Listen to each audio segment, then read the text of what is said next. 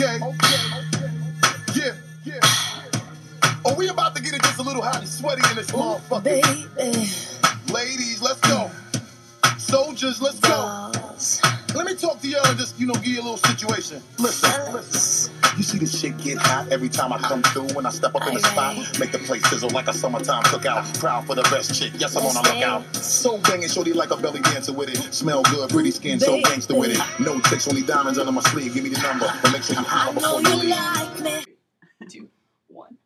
Hi, I'm Kristin. And I'm Dannielle. And we're from EveryoneIsGay.com. If you'd like to get a question answered, call this number. Deal, deal, deal, deal, deal, love, love, love, If only I had known to do.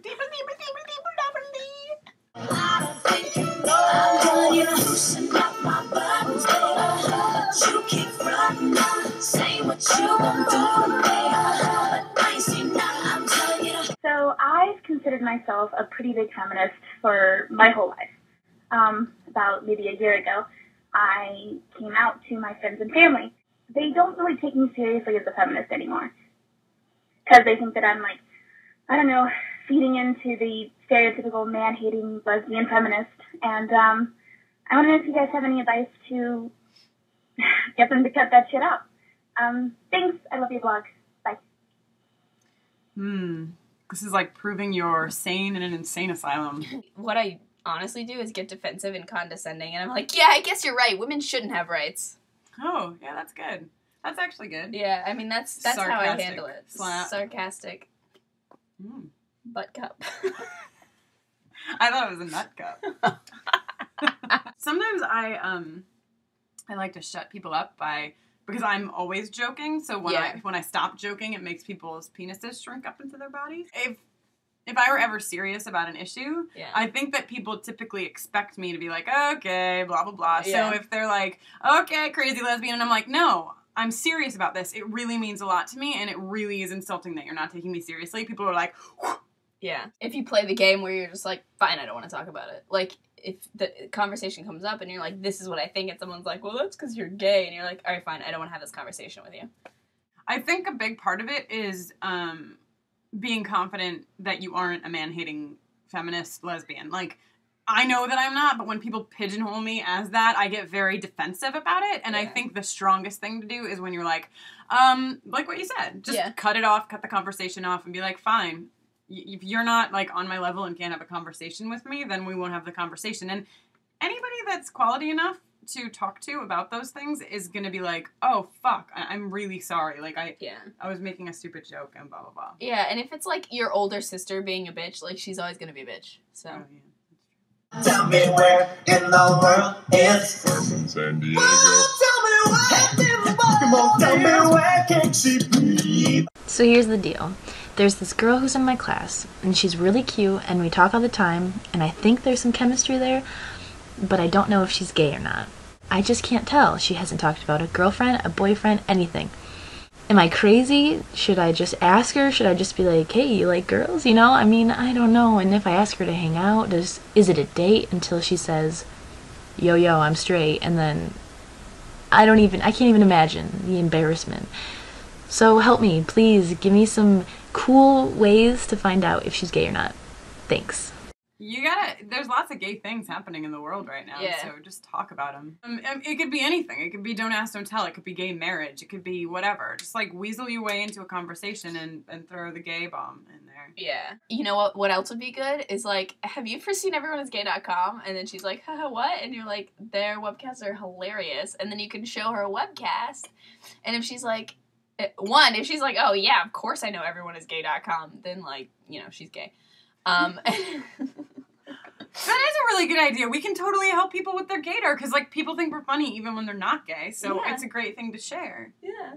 So you can show her whichever your favorite webcast is, probably the one with the alligator dance. And If she knows about the alligator dance before she sees the alligator dance, nice. gay, gay, gay, gay, gay. If you start watching it and she looks at you you and goes, "Oh my god, are they gonna do the dance?" The disser, She is so kiss her, right then. Put your mouth on her mouth immediately. Uh, this is the best idea I've ever heard you think of. Well, I'm really good at things. So yeah, go with everyone'sgay.com or if you're into politics and shit, then you can bring Okay, up I-. Some of us back here actually are into politics and don't roll their eyes. We're into politics, and if you're into what's important in the world and you're stupid like that, The other thing we just uh regrouped and we talked about another th- option, which Mhm. is the be patient. Love is patient, love is kind option. yeah. I mean, it's just the I'm gonna get to know you, I'm gonna be your friend, and then I'm gonna let you know that sometimes I kiss girls, and that by that point we're so close that I'm sleeping over, and then maybe we make out or spoon, and then you know it's like the gradual program.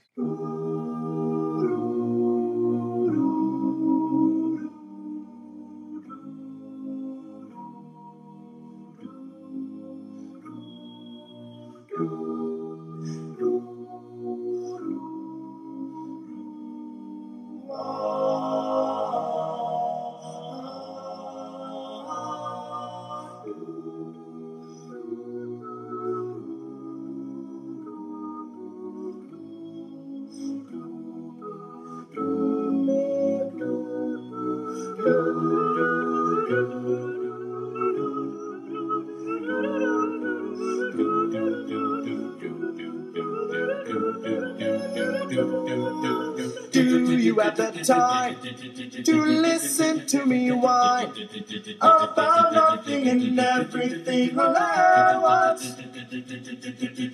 I'm one of those melodramatic fools.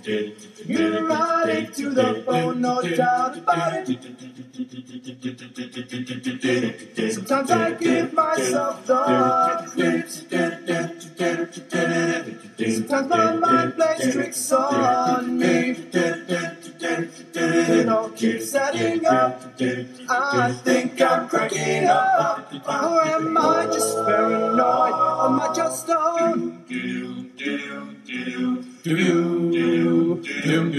I went to a shrink to analyze my dreams.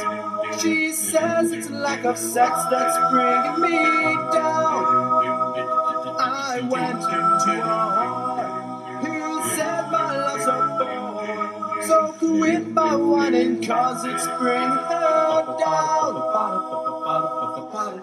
Sometimes I give myself the creeps. Sometimes my mind plays tricks on me. It all keeps adding up. I think I'm cracking up. Or am I just paranoid? Yo, yo, yo.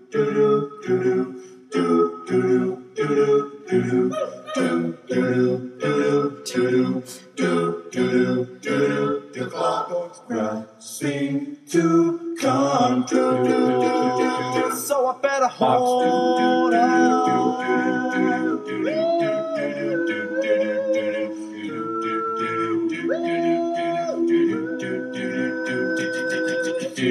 Sometimes I give myself the creeps. Sometimes your mind plays tricks on me. It all keeps adding up. I think I'm cracking up. Or am I just paranoid? No, I'm just stoned.